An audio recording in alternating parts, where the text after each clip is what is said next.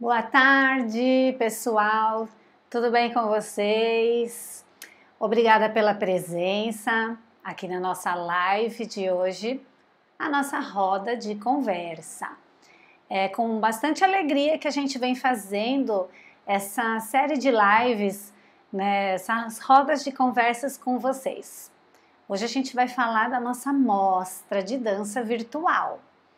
Então, assim, a pandemia ela acabou modificando toda a nossa rotina, o nosso dia a dia, né? Então, vocês iam para a escola, iam para a aba, né? Então, tudo que vocês faziam teve que ser modificado.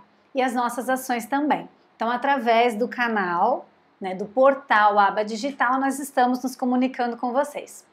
Então, como hoje nós falaremos da mostra de dança que será virtual, a primeira vez que isso vai acontecer, a gente vai conversando ao vivo via chat. Então vocês vão colocando as perguntas de vocês aqui para mim, eu vou respondendo e depois vocês vão poder assistir essa live quantas vezes vocês quiserem, para se caso vocês esquecerem alguma coisa, tá? Então eu vou dando uma olhadinha aqui e a gente vai conversando. Então vamos lá.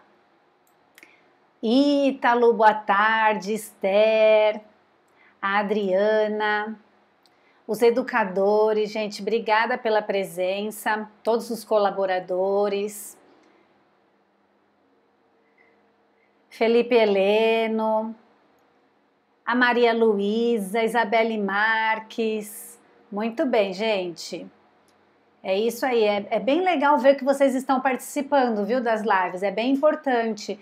E eu queria falar também para que os pais acompanhassem as crianças né? Porque eles vão precisar bastante da ajuda de vocês nesse período, tá?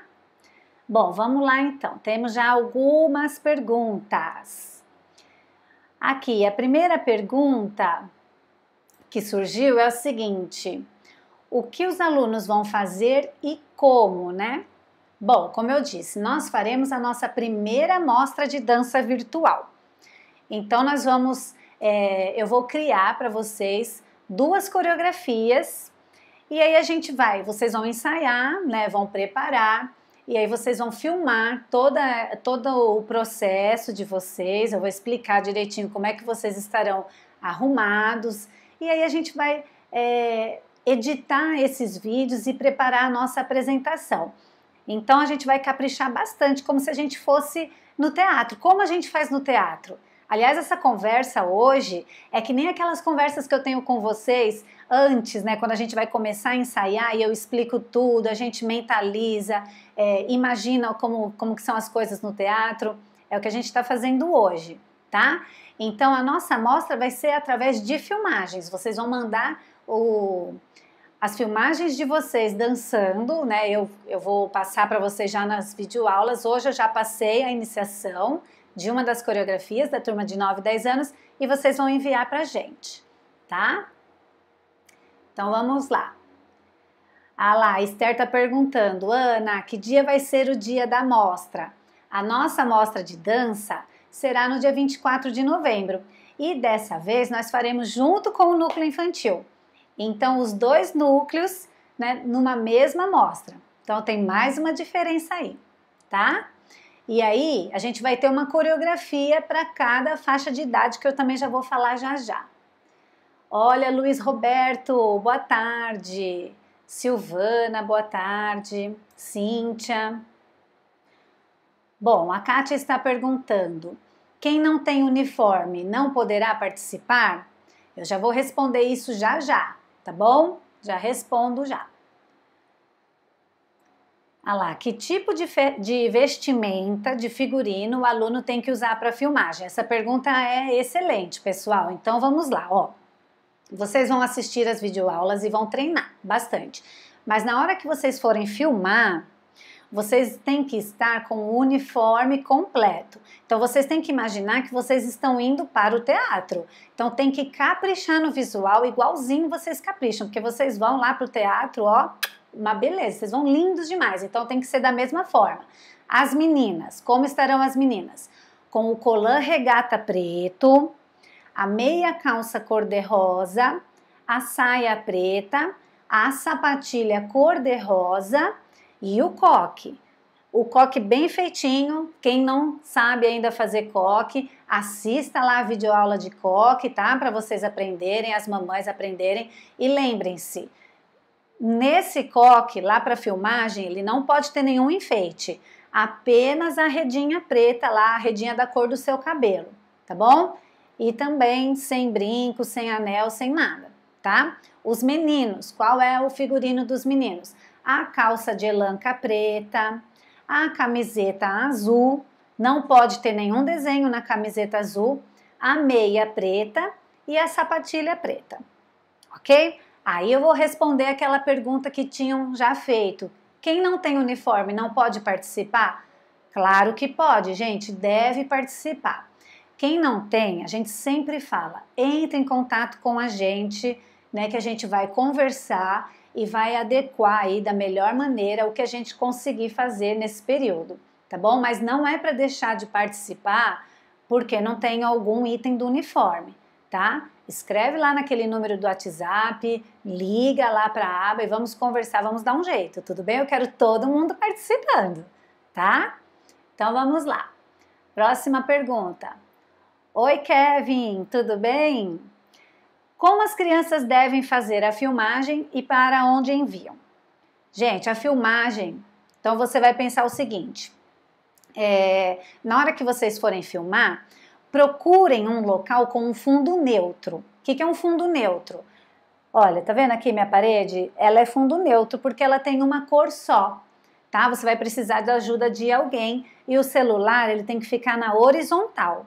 Isso é muito importante. E você precisa aparecer de corpo inteiro, exceto a turminha de 9, 10 anos no vídeo de hoje, que eu já dei uma indicação especial só para aquele pedaço da coreografia. Mas então, olha, fundo neutro, é, celular na posição horizontal, pede para uma pessoa mais velha do que você fazer a filmagem. Se você tiver um lugar para apoiar o celular para que ele não balance, melhor ainda tá? Mas é importante que durante a sua movimentação você apareça de corpo inteiro, ok? E vocês vão encaminhar para o número de WhatsApp que a gente coloca sempre nas videoaulas, tá bom? Nas videoaulas eu já estou colocando lá, tá? Naquele número que vocês vão enviar. E naquele, é o mesmo número que vocês recebem as notificações, tá bom?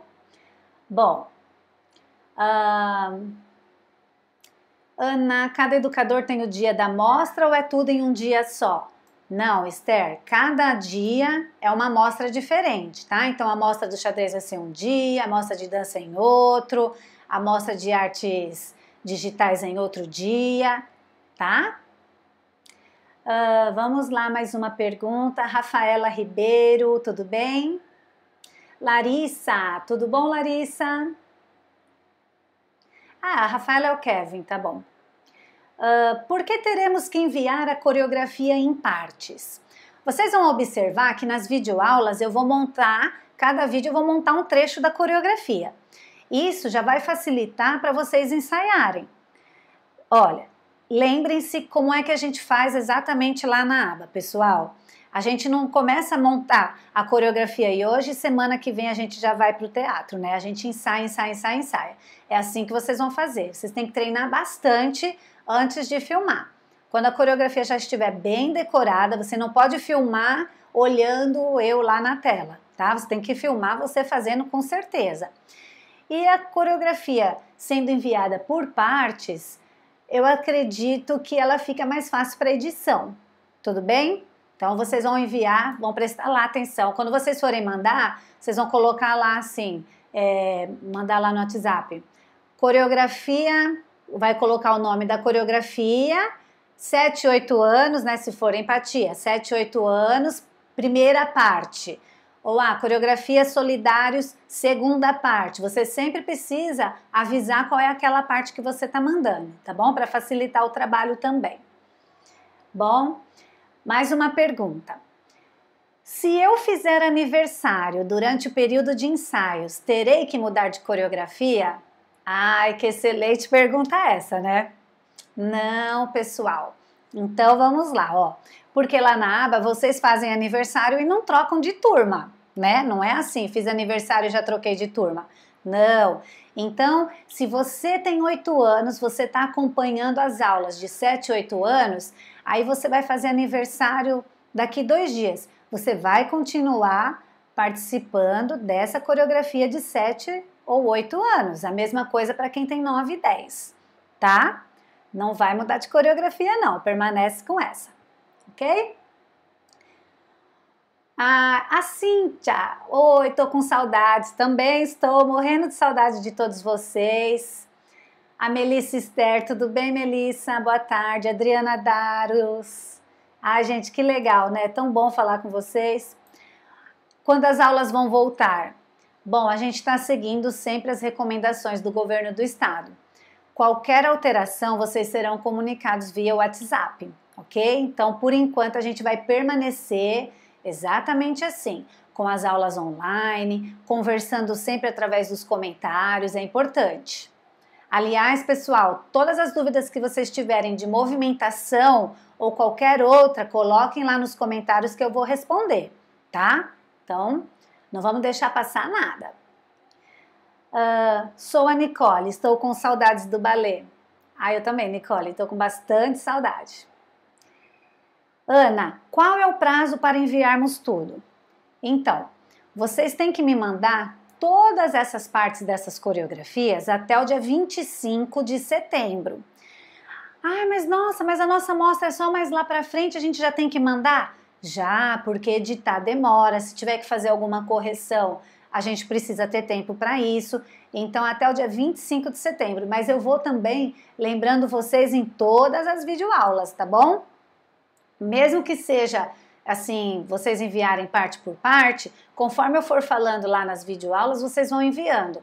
Mas até o dia 25 de setembro, vocês têm que encaminhar todas as partes das, coreo das coreografias, tá? Oi, Felipe, está gostando muito da live?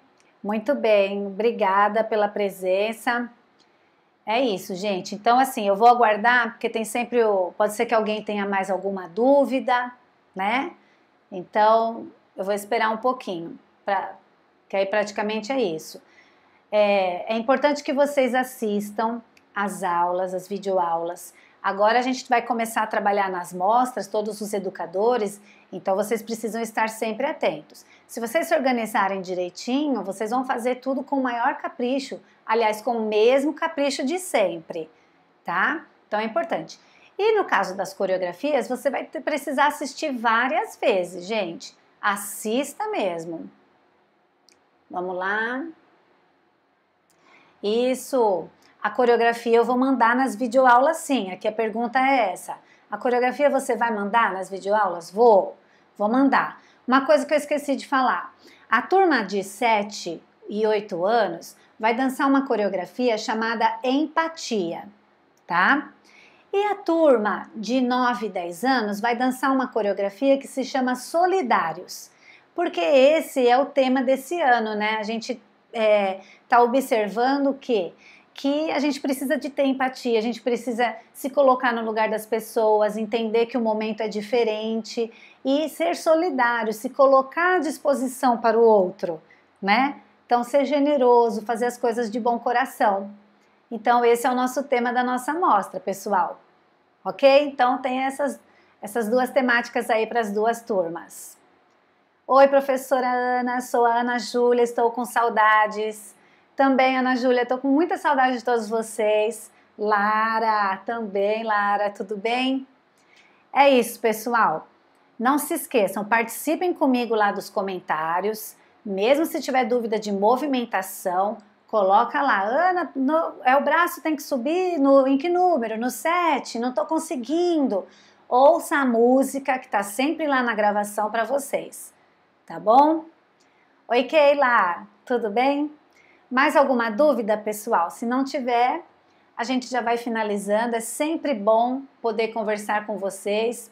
Eu estou sempre à disposição para tirar qualquer tipo de dúvida. Então, escrevam para mim lá nos comentários que eu fico muito feliz de poder conversar com vocês através desse canal. Qual é a roupa do uniforme? Então, falei lá no início, a roupa do uniforme é a mesma que a gente usa lá na aba. tá? A roupa do uniforme é o colã preto para as meninas, a saia preta, meia calça cor-de-rosa, sapatilha cor-de-rosa e o coque.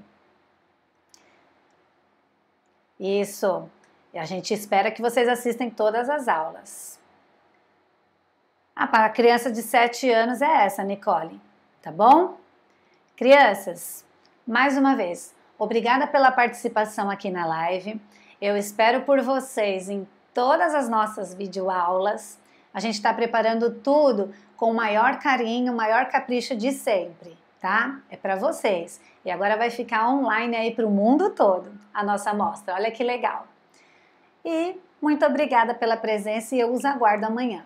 Tô com bastante saudade de todo mundo, tá? Super beijo. Tchau.